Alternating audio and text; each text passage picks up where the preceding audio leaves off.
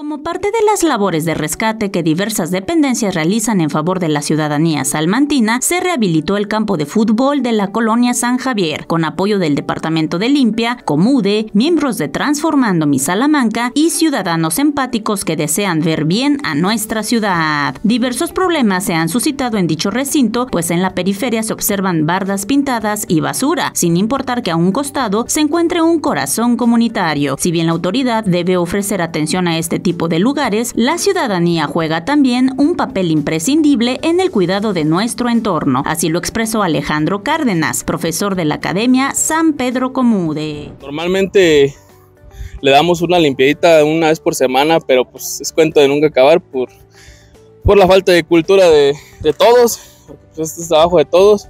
Entonces, pues sí, ahorita en conjunto de, varias, de varios profes y de Aldair y, los chavos. Este, estamos dando una limpiadita para ver cuánto más nos puede durar esto, pero sí, sí es trabajo de todos mantener estos espacios limpios. Otros maestros del deporte se sumaron a la causa, como Alan Cruz, perteneciente a las labores de activación que se desarrollan en la colonia Infonavit 3, quien aseguró que ofrecer estos espacios dignos para los niños y jóvenes salmantinos los aleja de los vicios y los encamina a una vida sana de deporte y convivencia.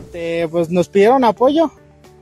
Igual allá cuando hemos pedido apoyo a otras escuelas nos han dado ahora sí que la herramienta para, para ayudar a limpiar más que nada para pues quitar un poquito del vicio, ¿no? La gente no se activa ni hace nada y a veces, pues para salir un ratito del, ahora sí que de los malos hábitos, vaya. La importancia de la rehabilitación de espacios públicos y el rescate de los mismos, además de ofrecer una mejor imagen, abonan al fortalecimiento de la comunión social, incentiva las actividades colectivas, invita al deporte y por ende a una vida mucho más sana, pero sobre todo ofrece una mejor calidad de vida a la población, abonando a una cultura de ejercicio que pueda trascender de generación en generación, agradeciendo atención y difusión para el salmantino y la neta del Bajío, Jazz Arciga Martínez.